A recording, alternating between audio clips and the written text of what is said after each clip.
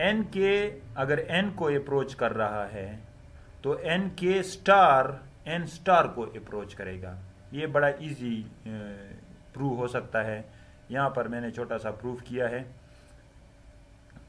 ये जो है कि T N star minus T star ले लो तो ये होल स्टार हो जाएगा। ये होल स्टार हो जाएगा और होल स्टार का नार्म स्टार ख़त्म हो जाता है। और जब टी एन टी को अप्रोच करेगा तो इस तरह ये ज़ीरो को अप्रोच हो जाएगा तो इस तरह टी एन स्टार भी टी स्टार को अप्रोच हो जाएगा।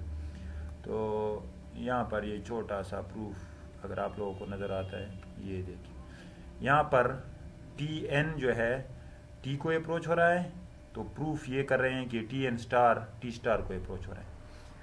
तो यही चीज़ यहाँ पर भी है कि एन स्टार एन को एन एन के अगर एन को अप्रोच कर रहे हैं तो N K star N K N star को अप्रोच करेंगे। तीसरी बात कि अगर एफ़ एक फ़ंक्शन है ए को अप्रोच कर रहा है और जी बी को अप्रोच कर रहा है तो एफ़ कंपोजिशन जी वो ए बी को अप्रोच करते हैं। यानी लिमिट पॉइंट भी उनका मल्टीप्लाई हो जाता है। तो उस लिहाज से एन के और N K star N N star को अप्रोच करेंगे और N K star N K N N star N को अप्रोच करेंगे।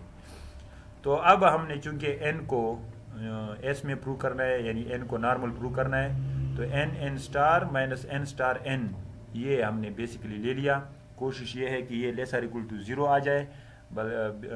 तो ओरिजिनली तो ये ग्रेटर इक्वल टू ज़ीरो होता है तो इज़ इक्वल टू ज़ीरो हो जाएँगे। और जब इक्वल टू ज़ीरो आएँगे तो उसका मतलब है कि ये दोनों बराबर है एन एन स्टार बराबर आ जाएगा एन स्टार एन के, और उससे एन नॉर्मल प्रूव हो जाएगा। हमने ये एन के एन के स्टार प्लस माइनस किया है, और एन के स्टार और एन के बी प्लस माइनस किया है।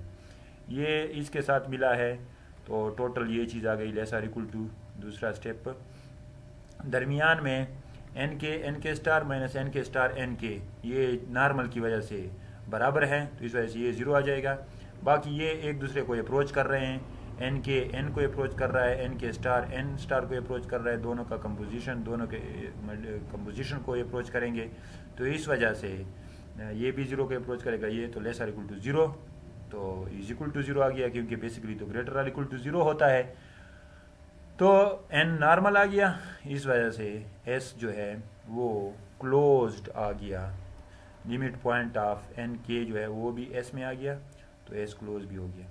तो टोटल ये बात प्रूव हो गई कि the set of all normal operator is closed सब subset of B of H जिस तरह हमने सेल्फ एडजाइन का सेट प्रूव किया था ना, इस तरह सेट ऑफ़ नॉर्मल को भी नॉर्मल ऑपरेटर को भी प्रूव किया है। अच्छा 6.18 में ये बहुत छोटा सा रिज़ल्ट है। आसान है। इसको आप खुद कर सकते हैं। नॉर्मल ऑपरेटर है। कि या तो आपस में अगर एक दूसरे के साथ कम्यूट हो रहे हैं दो N one N two N one N two star के साथ कम्यूट हो रहा है और N two N one star के साथ कम्यूट हो रहा है। तो फिर N one plus N two और एन वन एन टू ये भी फिर नॉर्मल होंगे। ये वैसे नॉर्मल नहीं होंगे। अगर N one N two normal है तो N one plus N two direct normal नहीं होता। और ना N one composition N two normal होता है। लेकिन अगर ये प्रॉपर्टी हो either of them commute with the adjoint of the other यानी N one N two star के साथ कम्यूट हो रहा है और N two N one star के साथ कम्यूट हो रहा है। तो तब ये जो है ना, ये नॉर्मल होंगे। तो ये देखो ना N one N two star के साथ कम्यूट हो रहा है गिवन है। और N two N one star के साथ कम्यूट हो रहा है। बाकी ये नॉर्मल है तो अपने स्टार के साथ भी कम्यूट हो रहे हैं। तो वो सारी चीज़ें आपके हाथ में है। अब हमने प्रूव करना है कि N one plus N two भी नॉर्मल है। यानी N one plus N two N one plus N two star बराबर है N one plus N two star N one plus N two तो इसका लेफ़्ट हैंड साइड और right hand side बहुत easily equal आ जाता है। N one plus N two N one plus N two star ले लो, इसको खोल दो तो ये आ जाता है। और दूसरा साइड ले लो, उसको खोल के उसमें वो सारी प्रॉपर्टी अप्लाई कर दे। N one star N two को N two N one star कर दे और इस तरह इसको भी चेंज कर दे। तो वापस वही चीज़ आ जाता है जो यहाँ पे है N one N one star वगैरह। तो ये इजी है।